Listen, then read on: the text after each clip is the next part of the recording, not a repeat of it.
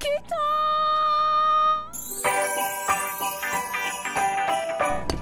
are definitely entering the cake exhibition show. I am not. What was the probability of you finishing perfecting your recipe just around the same time you got to know about a cake exhibition show? I am not participating in any big contest because everybody there is going to be skilled. And do you think I'm going to get into a cake business knowing that everybody there is skilled?